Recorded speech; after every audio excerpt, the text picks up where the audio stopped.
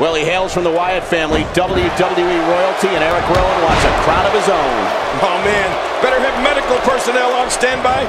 I got a feeling we're going to need them. Mono a mono. One fall will decide it. Regardless, fans of the Wyatt family are here in force, ready to cheer Erick Rowan on.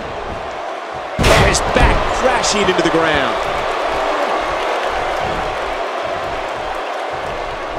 Oh, that's going to hurt. Come on. Now he just wants that insult to injury. Yeah, this guy's a mean streak. What does Erick Rowan need to do to win tonight? Normally, he's standing in the same corner as his teammate, but tonight, he finds himself standing across from him.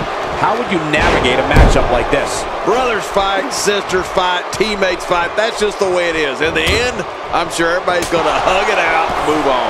Man, oh man, on any other night of the week, they're teammates. But tonight, Michael, they battle to see who's the better man on their team. Contrary to popular thinking, I think this is a good thing. Competition makes everyone better. He catches him with the axe handle.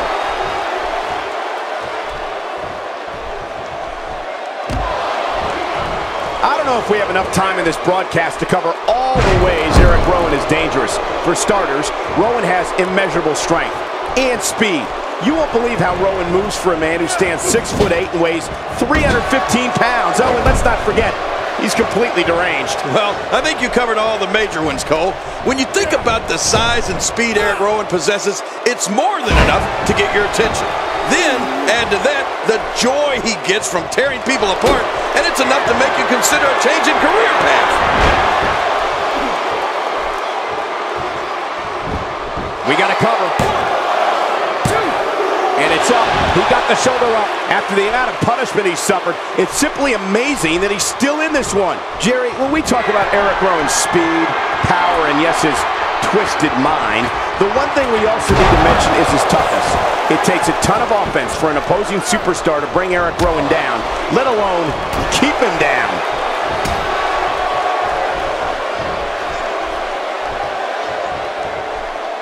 Nearly driven through the mat.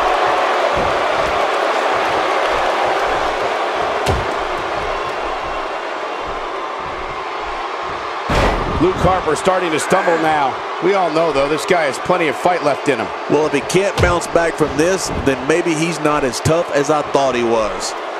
It's a good point, John. And I'd say he's really using his weight to his advantage here, reaching on the head and neck. You know, Michael, when I think of Erick Rowan, which I'd rather not, it's almost impossible for me to choose which of his weapons is the most dangerous.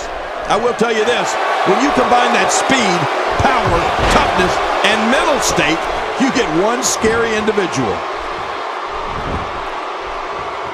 And one move after the other. It's devastating. This is hard to watch. This is going to be bad.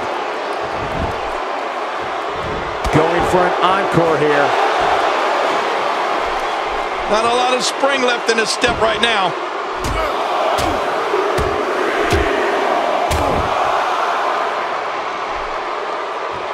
Boy, there's no way he's going to be able to stand after that. Boy, he was able to reverse and get out of that. Luke Harper visibly losing steam. He'll need to find a way to turn things around here. Don't forget, he's executed his finisher twice already, which means his opponent probably has the move well scouted by now. And given the aggressive outpouring we've seen so far, I wouldn't be surprised if this one was over sooner than later. Oh, look at this. Erick Rowan doing some good work here. Nobody controls the pace of a match quite like this guy.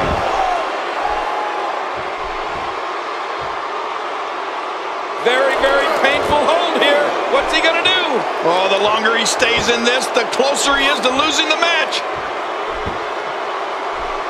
And his heartless attack continues. Oh, man. Watch it. And he powers out. Oh, I think this man means business.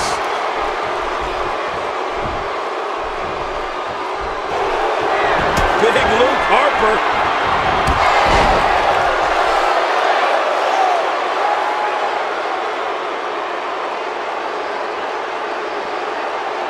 Wow, here we see it from this angle. He's going for the pin. This could be it. I think he's got him. Luke Harper gets the win in an impressive fashion.